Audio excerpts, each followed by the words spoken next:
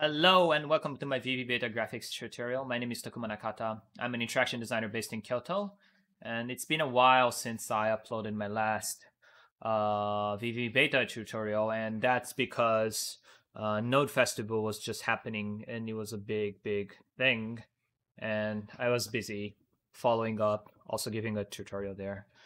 Anyways, uh, today in this tutorial I wanted to share uh, a small technique on how to make this kind of like wireframed uh, how to say animation based on uh, how to say video input, and uh, this is uh, sort of like second second episode out of this uh, creating mesh out of images in Convex Hull, and I uploaded this uh, tutorial around half years ago, and I just got a feedback that uh, someone's interested in converting this to a three dimensional geometry, so I decided to make this tutorial.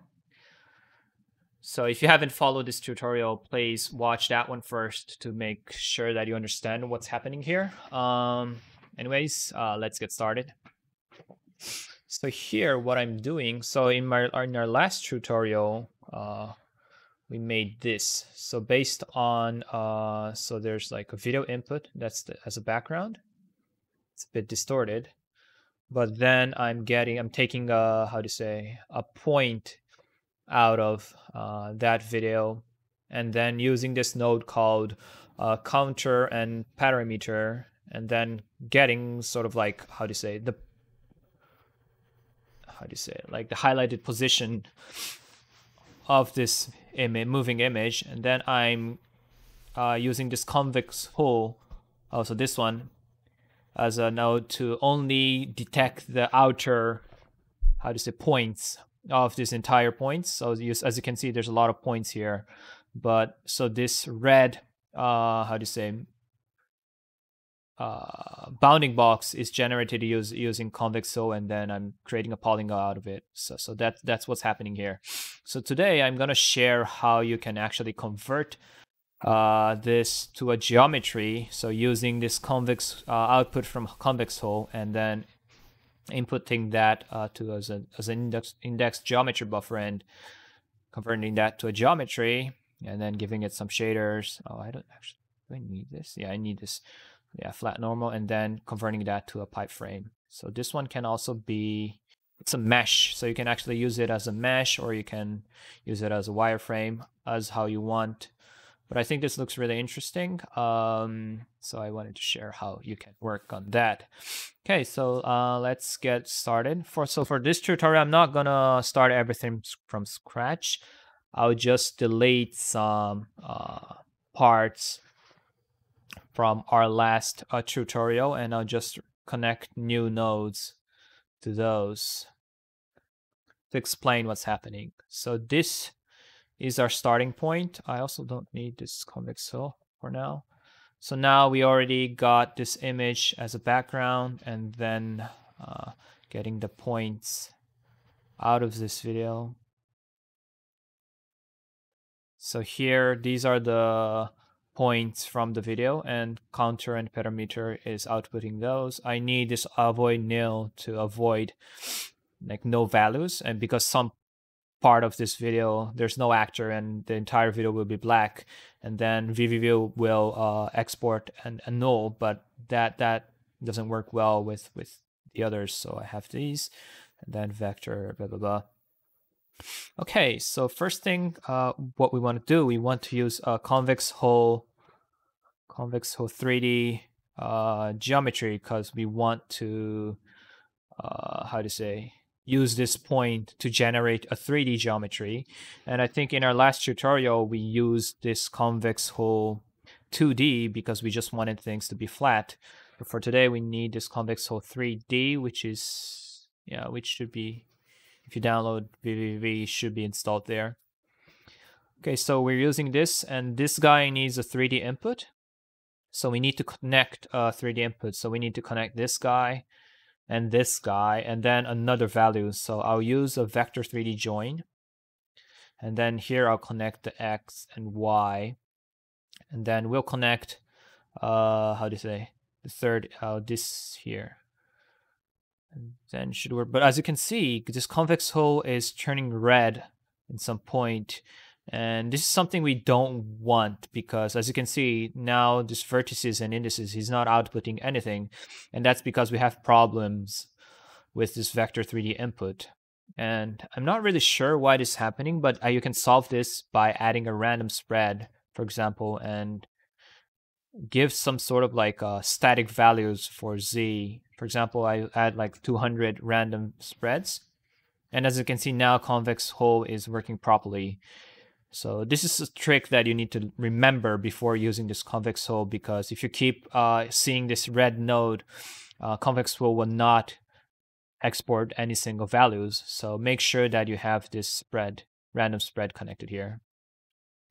Okay, so that's the first step. Now we have the convex hull of, uh, how do you say, this uh, contour parameter output. So now we want to generate a mesh out of this. To do so, what I often do is I open up flat normals. Flat normals is a node included in instance noodles. So I'll upload, I'll put the link to down install instance noodles on the comment. But if you press F1, this one is actually doing exactly the same as what I wanted to share for today's uh, tutorial. So it has convex hull 3D here, and then it's using index geometry buffer convert these uh, values to a geometry. And then once it's converted as a geometry, we have to connect these flat normals to get like normal data and things like that together as a geometry. Otherwise, you won't see any result as an output. So this flat normal makes it easy for you to, to output is as a render renderable geometry. So yeah, what I would basically do is I just copy paste these nodes from here. Uh, and then I'll just bring those to the to my main patch. So I just copy, uh, don't save.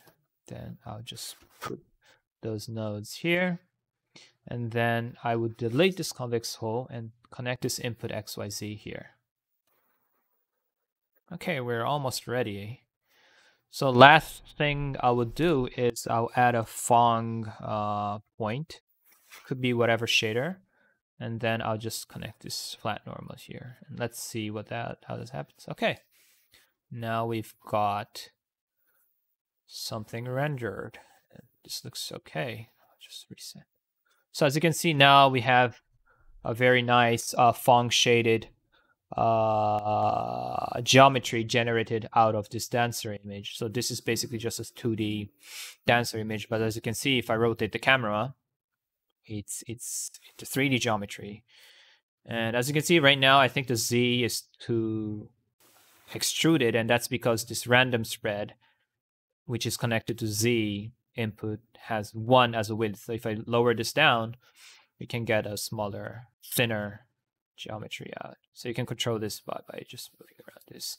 And as you can see, uh, sometimes you can see the dots inside the geometry, and that's because the face of these uh, geometry are how how does it flipping around and i'm not, I, I actually don't know how to solve this so if you know how to solve it please let me know but uh, i'm guessing that the the normal of this geometry are uh, like flipping around front and black back and that that's the reason why it keeps flicking and it's not really good but in my case, I don't really use this as a geometry. I connect this node called pipe frame, which is also included in the instance noodles. So this.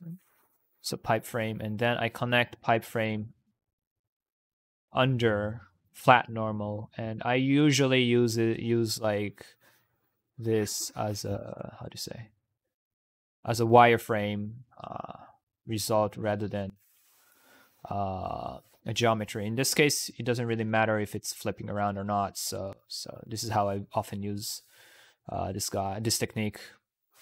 Just lower down the ambient color for now. Okay, so this is uh, basically it. Uh, how to make uh, how do you say geometry out of uh, convex hull and uh, contour. Uh, if you want to play around with the z-axis, you can also like I don't know, change this value or like specify the z-axis to make sure that these are like in your shape that you want. And just to be clear, I want to explain what's happening uh, here together with index geometry buffer. So this is a bit complicated. What it's basically doing, so it's this zip thing is specifying like, okay, this guy has three, uh, how do you say, uh, vertices position, which is specified as an input element. So input element one is position and it has RGB. So these are vector 3D float values. So it should have three vector float as an input and that's why it's specified three. So this guy is giving XYZ. So make sure that, you know, this zip would output three for this input.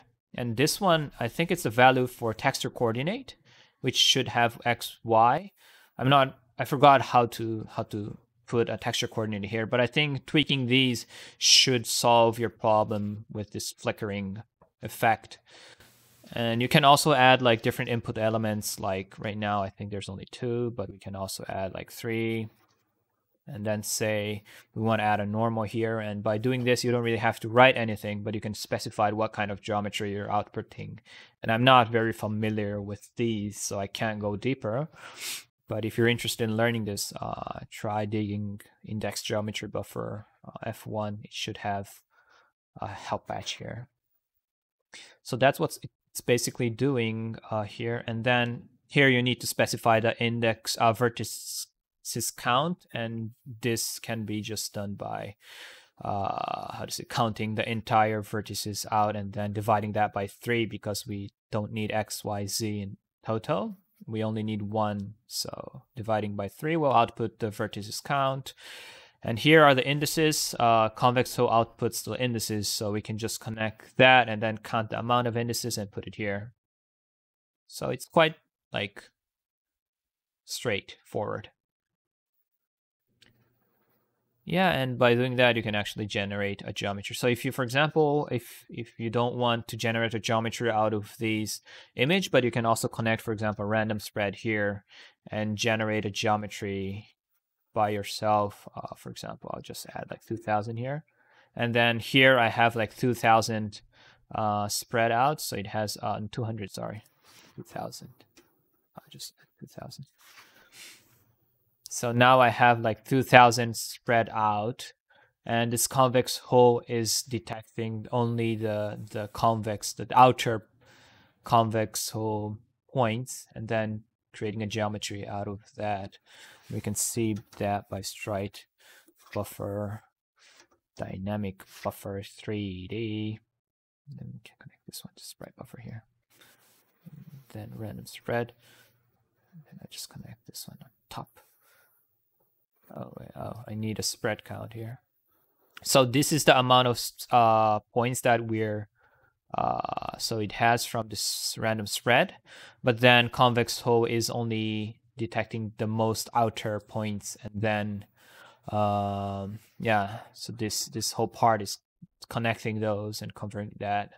So if you change, for example, the, the indices, so these indices, like, I don't know how to explain this, but this is, this is how you sort the number of each uh, vertices. So if you tweak this, you can make your lines shape a bit more clear, for example. So yeah, can play around quite a lot with this. Yeah, I think uh, that was it uh, for today. And in our next tutorial, I'm planning to share uh, how to import like huge amount of uh, video files, uh, like working in real time. So using HAP format and DDS format inside vvvv. So that's that's my plan for our next tutorial. I'll upload that this Friday. So thanks for watching, and I'll see you next time.